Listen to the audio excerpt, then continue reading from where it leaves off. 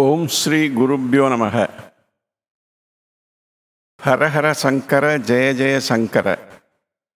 தெய்வத்தின் குரல் முதல் பகுதி அஹிம்சை. எல்லா மக்களுக்கும் பொதுவான சாமானிய தர்மங்களில் அஹிம்சையே முதலானது என மனு தர்மம் விதித்திருக்கிறது. மனசை சுவாதீனப்படுத்திக் கொள்ளும் யோகத்துக்கு ஓர் அங்கமாக அஹிம்சை கருதப்படுகிறது. சரீரத்தால் ஹிம்சை செய்யக்கூடாது என்பது மட்டும் ஹிம்சை அல் அஹிம்சை அல்ல. யாருக்கும் எவ்வித கஷ்டமும் ஏற்பட வேண்டாம் என்று மனசாலும் நாம் வேண்டும் என்று மனசாலும் நாம் எண்ணக்கூடாது. வாயால் பிறருக்கு கஷ்டம் தருகிற பேச்சை பேசக்கூடாது. ஸ்வபாவத்தில் நம்மில் யாருக்கும் பிறரை ஹிம்சித்து பார்க்க வேண்டும் என்று ஆசை இல்லை.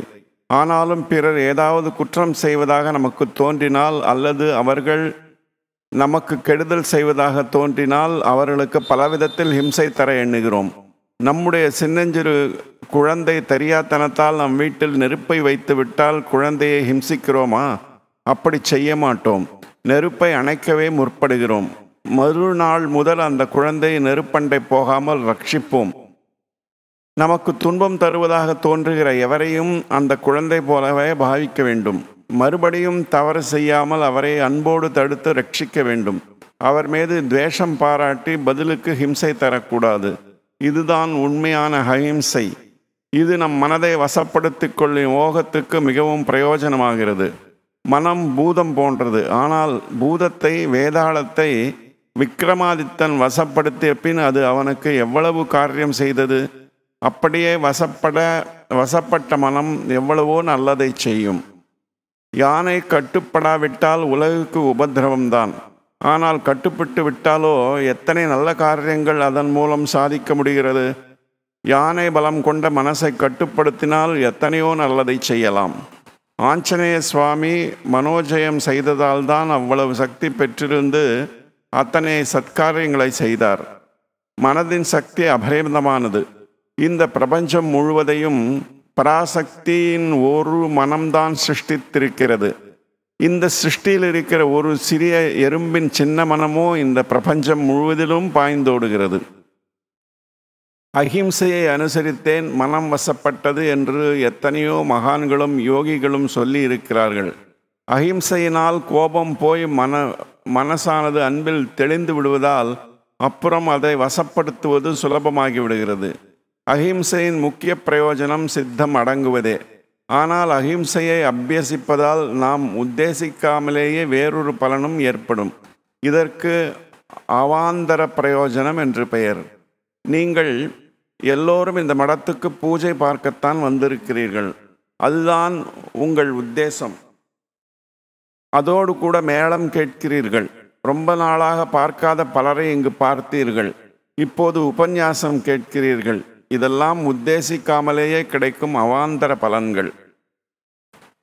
அவ்வாறே ஒருவன் மனம் வாக்கு காயம் என்ற திரிகரணங்களாலும் அகிம்சையை பூரணமாகச் சாதித்து விட்டால் அவனுடைய சங்கல்பமின்றியே அதாவது அவாந்தர பிரயோஜனமாக அவனுடைய சன்னிதானத்துக்கு வருகிற எல்லா பிராணிகளும் தாமாகவே தங்கள் பகைகளை மறந்து அகிம்சாமயமாகிவிடும் அகிம்சா பிரதிஷ்டாயாம் தத் சந்நிதௌ வைராகிய என்பது யோக சூத்திரம்.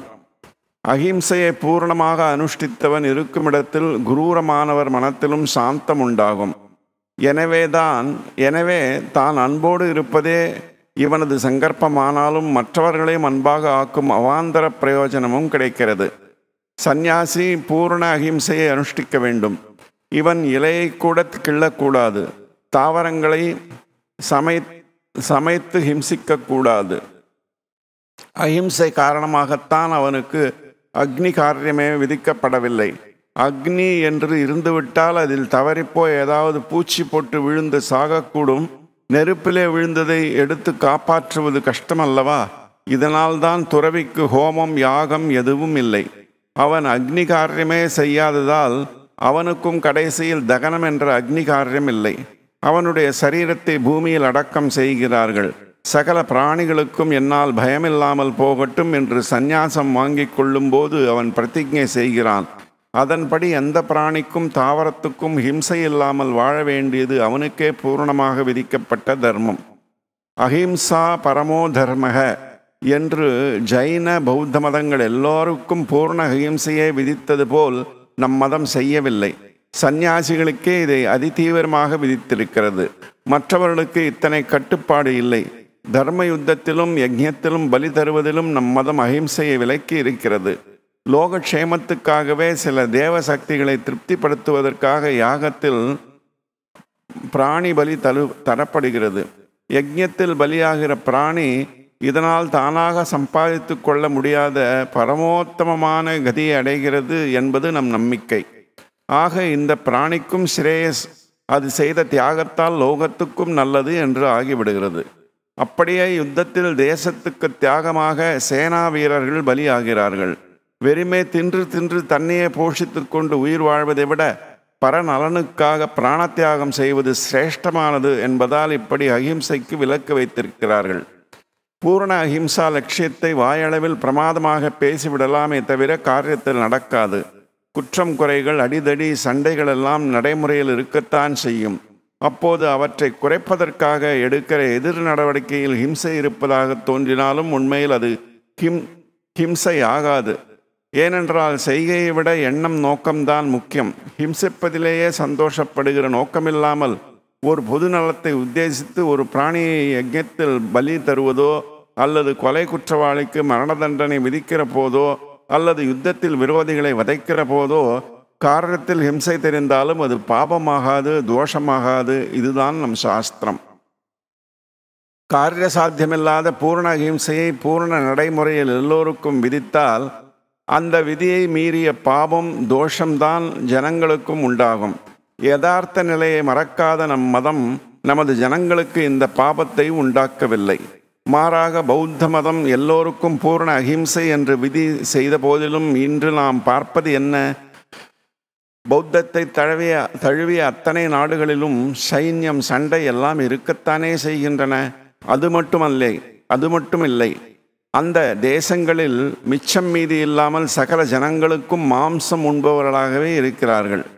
பெரிய தர்மம் ஒன்றை அத்தனை பேருக்கும் பொதுவாக வைத்தால் முடிவில் எவருமே அது அனுஷ்டிக்காத நிலைமைதான் பார்க்கிறோம். நம் தேசத்தில் அப்படி செய்யாமல் சந்நியாசிகளுக்கு மட்டும் பூர்ண அகிம்சையை விதித்தார்கள். அதை பார்த்து பிராமணர்கள் வடதேசத்தில் குஜராத் முதலான பகுதியில் உள்ள வைஷ்ணவர்கள் தென்னாட்டில் சைவ வேளாளர்கள் கோமுட்டி செட்டிமார்கள் போன்றவர்களும் இதை பின்பற்றி வந்திருக்கிறார்கள். எனவே விதி என்று போட்டு கட்டுப்படுத்தாததா கட்டுப்படுத்தாததாலேயே தாங்களாக பிரியப்பட்டு அதிலே நிஜமான ஈடுபாட்டோடு தலைமுறை தலைமுறையாக தத்துவமாக இதை இப்படி செய்து வந்திருக்கிறார்கள். சந்நியாசிகளின் சத்வகுணத்தை பார்த்து அதன் பொருட்டு தாங்களும் இந்த சாகா பக்ஷணத்தையே அதாவது வெஜிடேரியனிசம் அதை விரும்பி ஏற்று அனுஷ்டித்து வந்திருக்கிறார்கள். அவர்களை பார்த்து வெளியிலிருந்து யாரும் கட்டுப்படுத்தாமலே மற்ற வகுப்பாரும் ஒரு அமாவாசை ஒரு திதி தவசம் சஷ்டி போன்ற தினங்களில் மாம்ச போஜனத்தை விலக்கி விடுகிறார்கள்.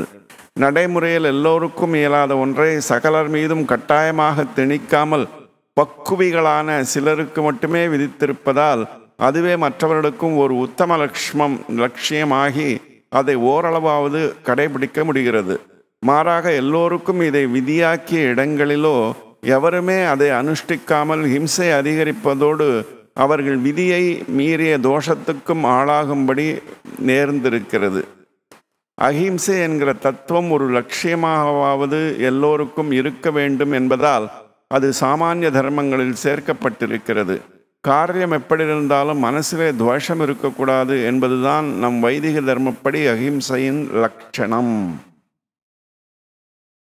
இத்துடன் இந்த அத்தியாயம் நிறைவு பெறுகிறது. शांति शांति शांति ही।